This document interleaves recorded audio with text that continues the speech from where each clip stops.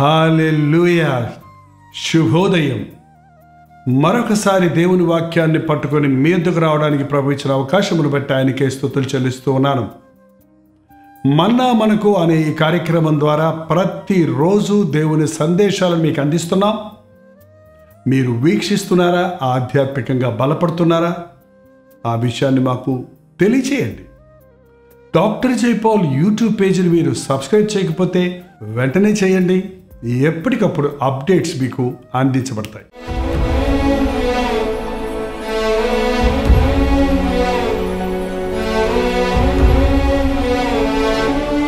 మతైసు వార్త పదిహేనవ అధ్యాయము ఇరవై ఏడో వచనం దగ్గర నుండి చదువుతున్నాను వినండి. యేసు అక్కడ నుండి బయలుదేరి తూరు సీదోనుల ప్రాంతములకు వెళ్ళగా ఇదిగో ఆ ప్రాంతముల నుండి కానాను స్త్రీ ఒకటి వచ్చి ప్రభువా దావీదు కుమారుడా నన్ను కరుణింపము. నా కుమార్తె దెయ్యం పట్టి బహుగా బాధపడుచున్నదని కేకలు వేసెను.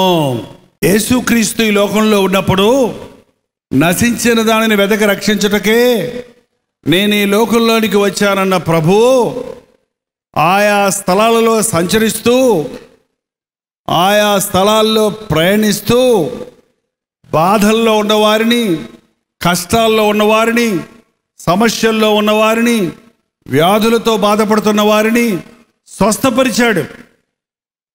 రక్షణ లేని వారికి రక్షణ కలుగజేశాడు.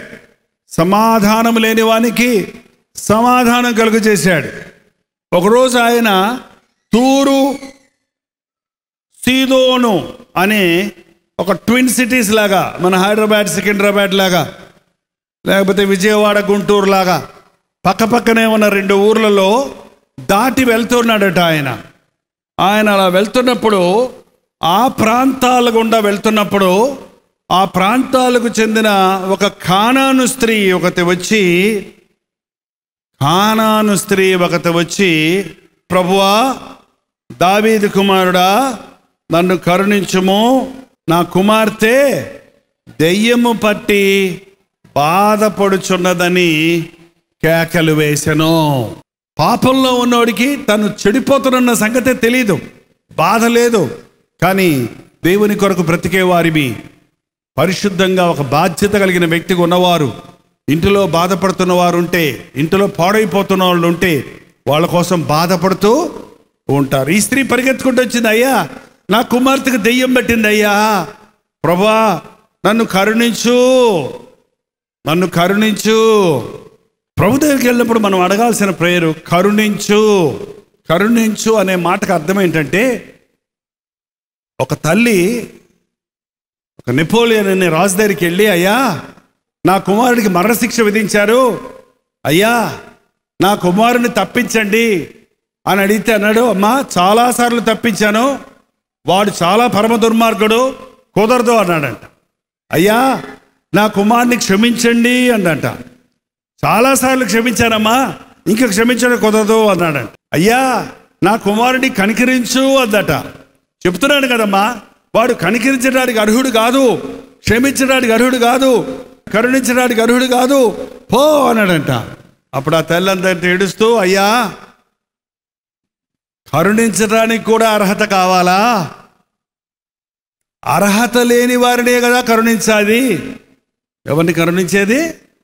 అర్హత లేని వారిని క్షమించడం ఏమంటారు దాన్ని? కరుణించడం. మనం దేవుని దగ్గరికి వెళ్ళినప్పుడు మనకి ఏ అర్హత లేదండి. మనం ఎన్నో పాపాలు చేశాం. ఎన్నో విధాలుగా మన ప్రభువును దుఃఖపరిచాం. ఆయన ప్రేమను తృణీకరించాం. ఆయన దగ్గరికి వెళ్ళి క్షమాపణ అడిగినప్పుడు ఆయన కరుణ ఆయన కృప ఆయన కనికరం ఆయన జాలి ఆయన ప్రేమ మాత్రమే మనం క్షమించబడడానికి సహాయం చేస్తున్నాయి. కాబట్టి మీరు ప్రార్థన చేసినప్పుడు ఈ మాట వాడండి. ఎన్నిసార్లు అయితే అన్నిసార్లు. ఏమని వాడాలి చెప్పండి? ప్రభా ప్రభా నన్ను కరుణించు. ప్రభా చిన్న ప్రార్థనే కానీ భలే జవాబు వస్తుంది. కానీ ఈమె చెప్పినప్పుడు ఇరవై మూడవ వచనం. అందుకే ఆయన ఆమెతో ఒక్క మాట అయినను చెప్పలేదు. అప్పుడు ఆయన శిష్యులు వచ్చి ఈమె మన వెంటబడి వచ్చి కేకలు వేయుచున్నది గనుక ఈమెను పంపివేయమని ఆయనను. ఆ నన్ను కరుణించు కరుణించు అంటే ఒక్క మాట కూడా చెప్పలేదు అటండి. జవాబు చెప్పలేదు ఆమె వైపు చూడనే చూడలేదు. మీరు ఎప్పుడైనా ప్రార్థన చేసినప్పుడు మా ప్రార్థన దేవుడు వినలేదు అనుకున్నారా? నేను ప్రార్థన చేస్తున్నాను కానీ దేవుడు నాకు ఇవ్వలేదు. గర్భఫలం కొరకు అడిగాను నాకు ఇంకా ఇవ్వలేదు. పక్క వాళ్ళ కాళ్ళు ఎరగొట్టమని అడిగాను దేవుడిని ఎరగొట్టలేదు ఏంటండి? అబ్బాయి పాస్ అవ్వాలనుకున్నా అడిగాను ప్రభువుని ఫెయిల్ అయిపోయాడు. అనే అనుభవాలు మీకు ఎవరికి లేవా? మీరు అడిగినన్ని ఇచ్చేస్తున్నారా? కొన్ని కొన్నిసార్లు ఒక్కసారి ప్రార్థన చేస్తే దేవుడు ఇస్తాడు. కొన్నిసార్లు నెలల తరబడి ప్రార్థన చేయాలి. సంవత్సరాల తరబడి ప్రార్థన చేయాలి. ఎందుకంటే దేవుడు జవాబు ఇవ్వడు మనం నిజంగా విశ్వాసంతో అడుగుతున్నామా లేదా అని తెలుసుకోవడానికి కొన్నిసార్లు ఆయన జవాబు ఇవ్వడు.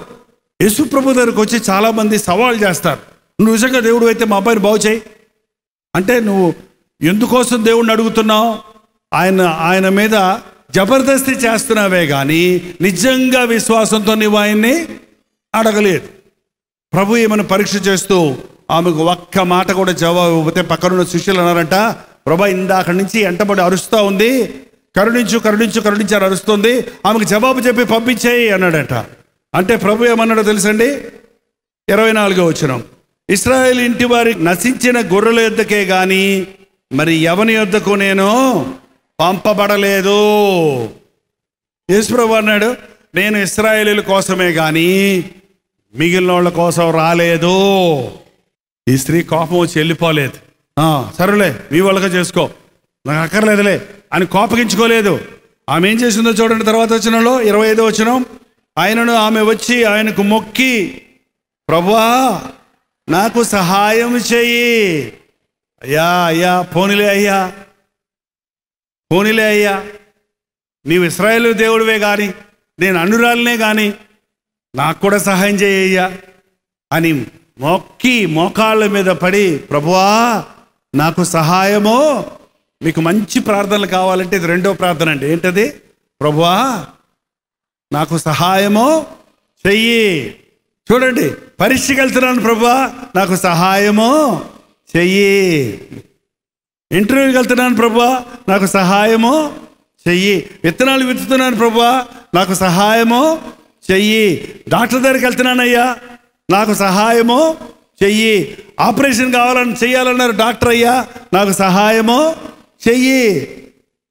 రేపొద్దున్న ఇన్ని డబ్బులు కట్టాలయ్యా. నా దగ్గర పైసా లేదయ్యా. నాకు సహాయము చెయ్యి. ప్రభా ఫలాన మున్సిపల్ గారిని పంపించి నాకు డబ్బులు ఇచ్చేటట్టు చెయ్యి అని చెప్పక్కర్లేదు. ఏంటంటే నీకు ఎలా సహాయం చేయాలో ఆయనకు తెలుసు కాబట్టి చిన్న ప్రార్థన. విశ్వాసంతో పూర్ణహృదయంతో చేసే ప్రార్థనకు దేవుడు తప్పక జవాబు ఇస్తాడు. ప్రభువా నన్ను కరుణించు. ప్రభువా నాకు సహాయం చెయ్యి అని మొక్కితే ప్రభు ఏమన్నాడు చూడండి ఇరవై ఆరో వచనం. అందుకు ఆయన పిల్లల రొట్టె తీసుకొని కుక్క పిల్లలకు వేయట యోగ్యము కాదు. పిల్లల రొట్టెది నువ్వు కుక్క పిల్లవే. అంటే అంటే నేను కుక్కనా? అంటే నా కూతురు కుక్క పిల్ల? ఏదో దేవుడు అని వస్తే నన్ను కుక్క అంటావా అని కాపగించుకొని వెళ్ళిపోయిందా? కొంతమంది ఇతరులు కొంచెం తగ్గిస్తే చాలు. ఇతరులు కొంచెం ఏలెత్తి చూపిస్తే చాలు. వెంటనే కోప్పడతారు వెంటనే బాధపడతారు వెంటనే పారిపోతారు.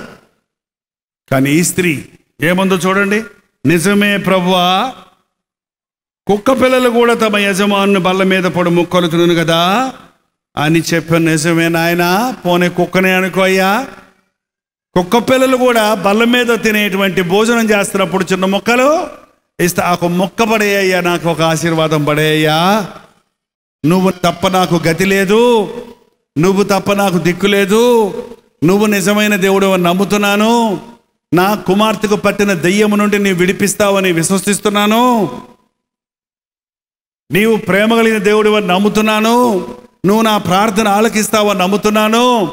అని పట్టు విడవకుండా ఎన్ని ఆటంకాలు పెట్టినా ఏసయ్యను వెంబడిస్తుందండి. చూడండి ఈ రోజున చాలామంది యేసు ప్రభువుని నమ్మానన్నవారు అన్నీ బాగున్నప్పుడు ప్రభువుని వెంబడిస్తుంటారు. ప్రార్థనలకు జవాబులు వస్తుంటే బాగుంటాయి. కొన్ని కొన్ని సార్లు జవాబు రాకపోతే ఎంతమంది అలుగుతున్నారు ఇవాళ కోప్పడుతున్నారు. అలగటము కోపగించుకోవటము బెదిరించటము ప్రార్థన మానేయటము ప్రార్థన చేసుకోవటం మానేయటము ఇలాంటివి మనకి ఎంత మాత్రం మంచివి కాదు. ఈ కుమార్తె ఈ సహోదరి అలిగి వెళ్ళిపోయి ఉంటే దెయ్యం పట్టిన కూతురు బాగా ఉండేదా బాగా ఉండదు నిజమే ప్రభా. ఒక మొక్కన్న వెయ్యి అన్నప్పుడు ప్రభు ఏమన్నాడు చూడండి ఇరవై ఎనిమిదో వచనము. అందుకు యేసు అమ్మా నీ విశ్వాసము గొప్పది నీవు కోరినట్టే అవునుగాక అని ఆమెతో చెప్పాను. ఆ గడియలోనే ఆమె కుమార్తె స్వస్థత పొందాను. అమ్మా ఇప్పుడు దాకా నువ్వు ఎవరో తెలియదు పొమ్మన్నారు నీకోసం నేను రాలేదన్నాడు. నువ్వు వేరే కానాను స్త్రీ అన్నాడు. పట్టించుకోలేదు కానీ పరీక్షించాడు దేవుడు. ఎప్పుడైతే ఆమె విశ్వాసము కలిగి ఉందో ఆమెను ఏమని పిలుస్తున్నాడు ఇప్పుడు? అమ్మా నీ విశ్వాసము గొప్పది. ఈరోజు దేవుడు మనతో ఆ మాట చెప్పగలరా మన విశ్వాసం పెద్దది కాదు గొప్పది. ప్రభు అన్నాడు మీకు ఆవగింజంత విశ్వాసం ఉంటే ఈ కొండను వెళ్ళి సముద్రంలో పడమంటే పడిపోద్ది. ఎంత? ఆవగింజ ఎంత ఉంటుంది? ఉన్నాయా? మీ ఇంట్లో ఆవాలు ఉన్నాయా? ఇంటికి వెళ్ళి ఒక ఆవగంజ తీసుకొని చేతి కింద పెట్టుకొని నలిపి చూడండి. నలగదది. గట్టిగా ఉంటుంది. అది చిన్నదే కానీ గట్టిది. మన విశ్వాసం ఇంత ఉంది అంటారు కొంతమంది. నాకు పెద్ద విశ్వాసం అంటారు. ఉప్పు అంటే ఎగిరిపోద్ది అనమాట అది. ఏంటంటే నాకు గడ్డి గడ్డి వామంత విశ్వాసం ఉంది అంటారు. లారీలో గడ్డేసుకెళ్తున్నప్పుడు చూశాను మొన్నే. ఏలాడుతూ ఉంది ఈ పక్క ఆ పక్క రోడ్డు అంతా పట్టింది ఆ లారీ. పైన అంతెత్తుంది ఇటుపక్క ఇంతెత్తుంది అటుపక్క అంతెత్తుంది. అబ్బో ఎంత గడ్డి లారీ లారా నాయన. ఒక్క అగ్గిపల్లి వేసావనుకో ఏముంటుంది అక్కడ? అంత బూడిద ఉంటుంది? ఏంటంటే చాలామందికి మేము పెద్ద విశ్వాసం అంటారు. కానీ గట్టి విశ్వాసం నీకుందా? గాలి వచ్చినా తుఫాను వచ్చినా చదరని విశ్వాసం. పోరాటాలు వచ్చిన చెదరని విశ్వాసం. అది నిజమైన విశ్వాసం.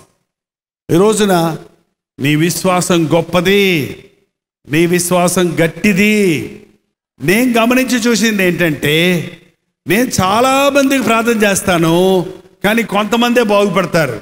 కారణం ఏంటంటే మేము ఎంత ప్రార్థన చేసినా నీకు విశ్వాసం లేకపోతే నీకు స్వస్థత కలగదు నీకు మేలు కలగదు. యేసుప్రభు దగ్గరికి వచ్చిన వాళ్ళందరికీ ఆయన చెప్పిన మాట ఏంటంటే నీ విశ్వాసము నిన్ను స్వస్థపరిచింది సమాధానం గలదానివై వెళ్ళు. నమ్ముట నీ వల్లైతే నమ్మువారికి సమస్తమో సాధ్యమో. మీరు యేసుక్రీస్తు మీద ఉంచిన విశ్వాసం స్థిరంగా ఉండాలి. మేలైన ఆయనే కీడైనా ఆయనే. మనకి ఒక శోధన దేవుడు అనుమతించినప్పుడు ఒక నష్టం కలిగినప్పుడు విడవకుండా ప్రభువును పట్టుకుంటే రెండంతల ఆశీర్వాదాన్ని మనం చూస్తాం. కాబట్టి మేలైనా ఆయనే కీడైనా ఆయన. బాగు చేసినా నువ్వే దేవుడు బాగా అవ్వకపోయినా నువ్వే దేవుడు. మరి మీ విశ్వాసం ఎలాగుంది?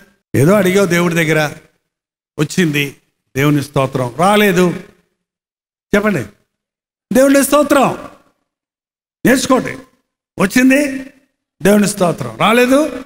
దేవుని స్తోత్రం. ఒక్కోసారి నువ్వు అడిగింది వెంటనే ఇస్తాడు దేవుడు. ఒక్కోసారి వెంటనే ఇవ్వడండి. ఆలస్యంగా ఇస్తాడు. ఆలస్యంగా ఇస్తే రెండంతల ఆశీర్వాదం అండి మనకి. ఏంటండి? మనకు ఒక్కోసారి మనం బిడ్డలను అడిగితే దేవుడు బిడ్డలు ఎవరో? మనకంటే మొన్న మొన్న పెళ్ళైన వాళ్ళు బిడ్డలు పుట్టేస్తారు. వాళ్ళు పుట్టేసంటే పట్టలేదు వాళ్ళు పుట్టేసంటే పట్టలేదని ఎడుతా కూర్చుంటుంటారు కొంతమంది. ఏంటండి? నీకు ఇస్తాడు. బైబిల్లో చూడండి గొడ్రాళ్ళుగా ఉండి ఆలస్యంగా బిడ్డలను కన్న తల్లులందరూ కూడా గొప్పవారికి జన్మం ఇచ్చారండి బాప్తిస్మిచ్చే యోహాను గొప్పవాడు స్త్రీలు కనిన వాడిలోనే గొప్పవాడు. ఇస్సాకు వృద్ధాప్యంలో పుట్టాడు నవ్వు కలుగు చేశాడు గొప్పవాడిగా ఆశ్రదించబడ్డాడు. మీరు అలాగే బైబిల్లో యోసేపు గొప్పవాడయ్యాడు పిల్లలు లేనప్పుడు రాహేలు పిల్లల్ని ఇయ్యి లేకపోతే నన్ను చంపేయని మొరపెట్టుకుంది. ఆలస్యమైంది కానీ అద్భుతంగా ఇద్దరు చక్కటి బిడ్డల్ని దేవుడిచ్చాడు. కాబట్టి ఒక్కొక్కసారి నువ్వు అడిగిని అడిగిని వెంటనే ఇవ్వకపోతే అలగొద్దు. అలగొద్దండి. మీ చిన్నపిల్లోడు మీరు గడ్డం గీసుకుంటున్నప్పుడు ఆ అబ్బాయి వచ్చి నాన్న నాకు ఆ రేజర్ ఇవా నేను కూడా గీసుకుంటానంటే ఇస్తారా? ఇస్తారండి. వాడి చేత్తో లాక్కుంటే లాగోడు లెంపగా కూడా వేస్తారు కావాలంటే. మా నాన్న కొట్టాడు అడిగింది ఇవ్వకుండా అని అలిగితే ఏం ప్రయోజనం? అది నీకు ఇప్పుడేం అవసరం లేదు. అది ఇప్పుడు నీకు ఇస్తే నీకు మేలు కాదు నువ్వేం చేసుకుంటావు దాంతో కీడు చేస్తావు కొట్- కట్ చేసుకుంటావు అది కోసుకుంటావు. నువ్వు పెద్దోడు అయిన తర్వాత నీ గడ్డం మీసం పెరిగినప్పుడు నేనే కొనిస్తాను రా అంటాడు. అలాగే దేవుడు కొన్ని కొన్నిసార్లు కొన్ని కొన్ని విషయాలు మనకి అడిగిన వెంటనే కాకుండా మనకు ఎప్పుడు అవసరమో అప్పుడు వాటిని ఇస్తాడు. అంతవరకు మనం ఏం చేయాలి? ఏం చేయాలి? అయితే నేను ప్రార్థన చేయనంటారా? అయితే నేను ప్రార్థన చేయనంటారా? అయితే నాకు నువ్వే ఇచ్చుకోపో ఎప్పుడు ఇచ్చుకుంటావు అప్పుడు ఇచ్చుకో అంటారా? ఈ కానాను స్త్రీ చూడండి. ప్రభా కనికరించు. ప్రభా సహాయం చేయి. ప్రభా నిజమే ప్రభా అని ప్రభువు సమాధానం చెప్పే వరకు మొరపెడుతూనే ఉంది. ప్రభువు దగ్గర నుంచి జవాబు వచ్చే వరకు మనం ప్రార్థన చేస్తూనే ఉండాలి. నేను ఎప్పుడు చెప్తుంటాను మా అమ్మగారు? మా నాన్నగారు మారటం కోసం పన్నెండు సంవత్సరాలు ప్రార్థన చేసింది. ఎన్ని రోజులు? ఎన్ని రోజులు? వారం రోజులు ప్రార్థన చేసి మా ఆయన మారడంటారు కొంతమంది. ఏంటండి? పది రోజులు ప్రార్థన చేసి ఆయన మారనే మారడు. సైతాన్ గాడు అంటుంది ఒక ఆమె అయితే. ఏంటండి? సైతాన్ కాదండి సైతాను పట్టింది. మారని మనుషుల్ని సాతాను పట్టి భర్తని లేక భార్యని లేక బిడ్డల్ని దురభ్యాసాలకు బానిస చేస్తుంది. సాతాను నుంచి ప్రభు కట్టు నుంచి విడిపించినప్పుడు ఎవరైనా కూడా ఎవరినైనా కూడా మార్చగలిగిన శక్తి యేసు ప్రభుకి ఉంది. అమ్మా నీ విశ్వాసము గొప్పది. చదవండి. నీవు కోరినట్టే నీకు అవునుగాక అని ఆమెతో చెప్పాను. ఆ గడియలోనే ఆమె కుమార్తె ఆమె ఇక్కడ లేదు కుమార్తె ఇక్కడ లేదు కుమార్తె ఇంటి దగ్గర ఉంది. కానీ ప్రభు ఇక్కడ మాట చెబితే అక్కడ కుమార్తెకి ఏం జరిగింది? విడుదల కలిగింది. ఈరోజు ఇక్కడ మీరు ప్రార్థన చేస్తే ఒకవేళ మీ ఇంత ఆయన ఇక్కడికి రాలేదేమో మీ బిడ్డలు ఇక్కడికి రాలేదేమో ఏంటండి? సాతాను చేత బంధించబడి పాపాలలో పెనుగులాడుతున్న వారు దేవుని సన్నిధికి రాలేరు. కానీ నువ్వు వచ్చావు. నీ విశ్వాసంతో ప్రార్థన చేస్తే నువ్వు నా బిడ్డ మారాలి నా భర్త మారాలి నా భార్య మారాలి నా అత్త మారాలి పాపముతో పాడైపోతున్న వాళ్ళు మారాలి అని మనం ఇక్కడ ప్రార్థన చేస్తే వాళ్ళు ఎక్కడున్నారో అక్కడ వారిని మార్చగలిగిన శక్తి మన ప్రభువుకి ఉందా లేదా? ఉందా లేదా? నీవు కోరినట్టే నీకు జరుగును. అవును మీరు ఇంతమంది ఇంత కష్టపడి ఇన్ని స్థలాల నుంచి వచ్చారు కదా. ఏదన్నా ఒక భారంతో వచ్చారా? ఏదన్నా ఒక అవసరతలో వచ్చారా? ఏదైనా ఒక విషయం కొరకు ప్రార్థన చేయించుకోవాలని వచ్చారా? ఏదైనా ఒక విషయాన్ని ప్రభువుని అడగాలని వచ్చారా? ఏదైనా ఒక సందేహం తీర్చుకోవాలని వచ్చారా? ఏదైనా ఒక ఆశీర్వాదం తీసుకుని వెళ్ళాలని వచ్చారా? మిమ్మల్ని అడుగుతున్నాను. వచ్చారా? వచ్చారా? అదేంటో మీ మనసులో చెప్పుకోండి ఇప్పుడు. నా చెప్పిన వినపడదు కనుక నీ హృదయంలో ఏది అవసరతో ఏది కొరతో ఏది ఇప్పుడు నీకు కావాలో అది నీవు అడిగితే నీవు కోరినట్టుగానే నీకు జరుగును. ఎక్కడ ఇద్దరు ముగ్గురు నా నామంలో ఉంటారో అక్కడ నేను ఉంటానన్న ప్రభు. ఈ హాల్లో ఈ రోజున మన ప్రభు ఇక్కడ ఉన్నాడు. నేను మిమ్మల్ని చూస్తుంటే మీ ముఖాలు కనపడుతున్నాయి కానీ ప్రభు ఇక్కడి నుంచి చూస్తుంటే ఏం కనపడుతుంది దానికి? మన హృదయాంతరేంద్రియాలు కనబడుతున్నాయి. మన హృదయ అవసరతలు కనబడుతున్నాయి. మన హృదయ వాంఛలు కనబడుతున్నాయి. ఆయన మన హృదయ అవసరతలన్నీ తీర్చగలిగిన వాడు. మన హృదయ వాంఛలన్నీ తీర్చగలిగిన వాడు. కానీ నువ్వు నోరు తెరిచి దేవునితో నాకు ఇది కావాలి అని నువ్వు చెప్పవలసిన అవసరం ఉంది. ఒక నిమిషం లేచి నిలబడదాం. లేచి నిలబడ్డప్పుడు ప్రతివారు కళ్ళు మూసుకొని నోరు తెరిచి ఒక్క మాట చెప్పండి. ఏ ఉద్దేశంతో దేవుని సన్నిధికి వచ్చావు? నాకు జ్ఞానం కావాలి. సొలోమోని అడిగాడు నీకేం కావాలి చెప్పు? నాకు జ్ఞానం కావాలయ్యా. నా కుటుంబం కట్టుకోవడానికి జ్ఞానం కావాలి. తండ్రి నా అవసరత తీర్చు అని దేవుని దగ్గర అడగండి. ఏం కావాలి చెప్పు. దేవునికి సమస్తం సాధ్యం. బంధువులు ఇవ్వలేరు. అధికారులు ఇవ్వలేరు. వైద్యులు స్వస్థపరచలేరు. అలాంటి కష్టాల్లో సాతాను శక్తుల ప్రభావాలతో నష్టంలో దరిద్రతలో ఇబ్బందుల్లో ఉన్నావేమో. నోరు తెరిచి ప్రభువుని అడుగు. నా నామంలో అడగండి. నా నామంలో ఏది అడిగితే అది ఇస్తానన్నాడు ప్రభు. ఇప్పుడే నోరు తెరిచి నీకేది కావాలో దాన్ని స్పష్టంగా దేవునితో చెప్పు. అయ్యా ఇది నా కొరత. అయ్యా ఇది నా అవసరత. ఇది నా రోగం. ఇది నా బాధ. ఇది నా సమస్య. ఇది నా చిక్కు. నాకు నువ్వు కావాలయ్యా. నాకు సహాయం చేయేసయ్యా.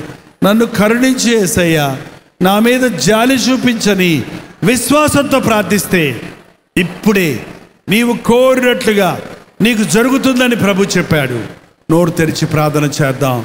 పరిశుద్ధుడా ప్రేమగల తండ్రి ఒక్కసారి నీ బిడ్డలను చూడు నాయన. చేతులెత్తిన వారిని చూడయ్యా. నా బాధ ఇది నా సమస్యది నా అనారోగ్యం ఇది నా కొరతిది నా అవసరత ఇది అని చేతులెత్తి వారి బాధలు నీతో చెప్పుకుంటుండగా నీ సులభ రక్తాన్ని ప్రోక్షించి నీవు కోరినట్లే నీకు జరుగును. అని అభయము నాయన ఆశతో వచ్చిన వారెవరు ఒట్టినే ఇక్కడి నుంచి వెళ్ళకూడదు నాయన దీవించబడి వెళ్ళడానికి సహాయం చేయము. ఆశీర్వదించబడి వెళ్ళడానికి సహాయం చేయము. విడిపించబడి వెళ్ళడానికి సహాయం చేయము. పరిశుద్ధాత్మ కార్యాన్ని మా మధ్య జరిగించము తండ్రి. నిరుత్సాహంతో కృంగిన వారిని. కన్నీటితో జీవిస్తున్న వారిని. కొరతల్లో ఉన్న వారిని. అప్పుల్లో ఉన్న వారిని. కనికరించు నాయన కరుణించు ప్రభా. సహాయము చేయి నాయన. ఈ ఆవరణలో కూడి వచ్చిన నీ బిడ్డలందరినీ నాజరడనేసు క్రీస్తునామంలో విడుదల చేయించున్నాము తండ్రి. వారి హృదయ వాంఛలు తీరునట్లుగా నీవు కోరినట్లే నీకు జరుగునని నీ మెల్లడి స్వరాన్ని విని వెళ్ళడానికి సహాయం చేయము. నీ ఆశీర్వాదాలతో మమ్మ నింపి నడిపించమని యేసుక్రీస్తు నామములో అడుగుచున్నాము తండ్రి.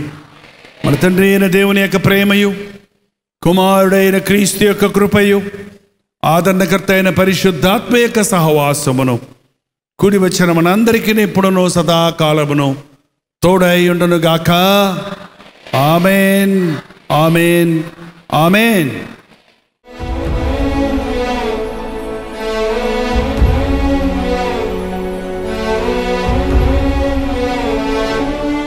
మీకోసం మేము కూడా ప్రార్థన చేయాలంటే ఆ విషయం తెలియచేయండి. ప్రవసంతులు మీ పక్షంలో విజ్ఞాపన చేయడానికి మేము సిద్ధంగా ఉన్నాం. మీరు ప్రార్థించండి.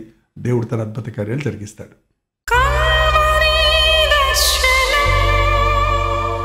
భారభరితమైన ఈ పరిచయలో మీరు కూడా పాలిభాగస్తులు ఎండగొడితే ప్రభువుని ప్రేరేపించిన కొలది మీ విరాళములు కానుకలు పంపడం ద్వారా ఈ పరిచయలో పాలిభాగస్తులై దేవుడిచ్చు ఆశీర్వాదాలను పొందండి. ఈ విషయమే మీకు ఇంకా వివరాలు కావాలంటే zero eight nine three nine three nine three nine three nine నెంబర్కి కాల్ చేయండి. కలువరి ప్రేమధార అనే మా ద్విమాస పత్రిక అనేక వేల మంది చదివి ఆధ్యాత్మికంగా మేల్పొందుతున్నారు. మీరు కూడా ఒక ఉచిత పత్రిక పొందగోరితే ఈరోజే మీ పేరు చిరునామా వివరంగా తెలియచేయండి. తప్పక ఒక ఉచిత పత్రికను పంపిస్తాం. వార్షిక విరాళం నూట యాభై రూపాయలు పంపించి క్రమంగా ఈ పత్రికను పొందొచ్చు. కలువరి ప్రేమధార అనే మా ద్విమాస పత్రిక గత ముప్పై ఐదు సంవత్సరాలుగా ప్రచురిస్తూ ఉన్నాం. ఇప్పటికీ ఒక కోటి మందికి ఈ పత్రికను అందించి ఉన్నాం. అనేక వేల మంది చదివి మేలు పొందుతున్న ఈ పత్రికను మీరు కూడా పొందగోరితే ఈరోజే మీ పేరు చిరునామా వివరంగా తెలియచేయండి. ఒక ఉచిత పత్రికను పంపిస్తాం. వార్షిక విరాళం నూట యాభై రూపాయలు పంపించి క్రమంగా ఈ పత్రికను మీరు పొందొచ్చు. కల్వరి ప్రేమధార గత సంవత్సరముల పత్రికలన్నీ బౌండ్ బుక్స్గా సిద్ధం చేస్తున్నాం. నాలుగు ఐదు సంవత్సరాల బౌండ్ బుక్స్ కావలసిన వారు ఒక విరాళాన్ని పంపించండి. ఈ బౌండ్ బుక్స్ను మీకు రిజిస్టర్ పోస్ట్లో పంపిస్తాం. వివరముల కొరకు zero eight nine three nine three nine three nine three nine నెంబర్కి కాల్ చేయండి. ప్రభు చిత్తమంది మళ్ళీ కలుసుకుందాం అంతవరకు దేవుని మహాకృప మీకు తోడైను గాక. ఒక్క క్షణం. మీరు డాక్టర్ జైపాల్ యూట్యూబ్ ఛానల్ని సబ్స్క్రైబ్ చేశారా? లేకపోతే ఇప్పుడే చేయండి. ఎప్పటికప్పుడు అప్డేట్స్ మీకు అందించబడతాయి. అనేకమైన వర్తమానాలు పాటలు లైవ్ ప్రోగ్రామ్స్ అనేక విషయాలతో ప్రతిరోజు మీ దగ్గరకు వస్తున్నాం. మిమ్మల్ని ఆధ్యాత్మికంగా బలపరచాలని. ఇప్పుడే సబ్స్క్రైబ్ చేయండి. మీ స్నేహితులకి బంధువులకు కూడా పరిచయం చేయండి షేర్ చేయండి.